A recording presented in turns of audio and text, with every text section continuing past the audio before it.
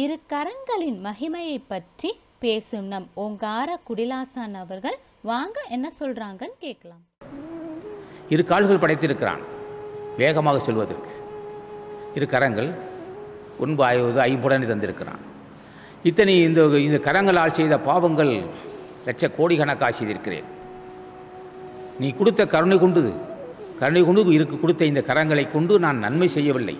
உன்னை வணங்கவும் உன்னால் படைக்கப்பட்ட உயிரினருக்கு நன்மை செய்யவும் கொடுத்த இந்த கரங்களை கைகளை நான் தவறாக பயன்படுத்தேன் உயிர் கொலை செய்வதற்கும் புலால் உண்பதற்கும் பிறரை தாக்குவதற்கும் பிறர் மனசை புண்படுத்த அடு கொடுமை செய்வதற்கு கரங்களை பயன்படுத்தி விட்டேன் நான் என்னை மன்னிக்க வேண்டும்.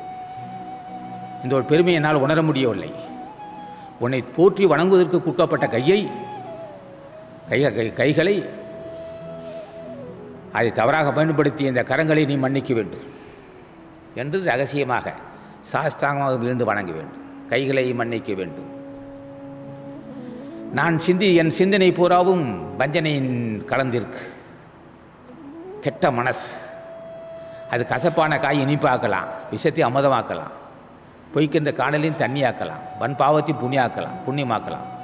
ஓட்டையும் தங்கமாக்கலாம். ஆனால் இந்த மனசை நல்ல மனசை நான் மாற்ற முடியும் ராமலிசாமி சொல்லுவார் திருவருள் முறையீட்டில் ஆக இந்த கைகளை இப்போ கொடுத்த க- கருணையே நிறைந்த கடவுளே இரு கரங்களை தந்திருக்கின்றாய். உன்னை போற்றி வணங்கவும். கரங்களை கொண்டு ஏழை எமக்கு நன்மை செய்வதற்கும் கொடுத்த கைகளை நான் தவறாக பயன்படுத்திய பாவம் செய்திருக்கிறேன். ஆகவே இதை மன்னித்தருள வேண்டும் என்று சாஸ்திராகமாக இருந்து வணங்க வேண்டும். காலை ஐந்து மணிக்கு ஐந்து முப்பது மணிக்கு. பிறகு சிந்தித்து விட்டேன். என் சிந்தனையில் தெளிவில்லை. நான் நல்ல மனசோடு இல்லை நான். கொடூரமான மனசில் வச்சிருக்கிறேன் சிந்தையால் செய்த பாவத்தையும் நீதான் தீர்க்க வேண்டும். நீ உடம்பு தந்ததே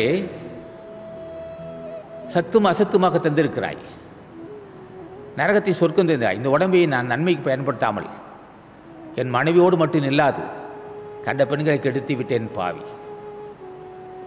கைகளை தந்தாய் கருணையோடு.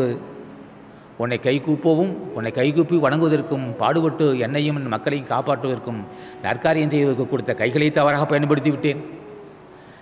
சிந்தை நல்ல சிந்தனையை வளர்க்காமல் சிந்தனையும் சிந்தையும் மாசுபட்டு விட்டது இந்த உடம்பு கொண்டு என் மனைவியை தவிர மற்ற பெண்களை நான் நேசித்து விட்டேன். இயல்புதான். காம என்பது இயல்புதான். செய்திருக்கிறேன் ஐயா. உண்மைதான் ஐயா. காம தேகத்தை இந்த தேகத்தை கொண்டு நான் நெறியோடு நான் நடக்கவில்லை. காமத்தை அணிப்பதற்கு ஏதேதோ செய்துவிட்டேன். இந்த ஜென்மத்தில் திருந்து விட்டேன் சென்ற ஜென்மத்தில் நடந்தது எனக்கு தெரியாது. இந்த காமத்தை இந்த இந்த தேகத்தை கொண்டு நான் நன்மை அடைய ந- முறையான வாழ்க்கை. முறையான வாழ்க்கை வாழாமல் வாழாமல் ஏதோ இந்த உடம்பை தவறாக பயன்படுத்தி விட்டேன் அதுவும் உண்மைதான். செய்த பாவமும் உண்மைதான்.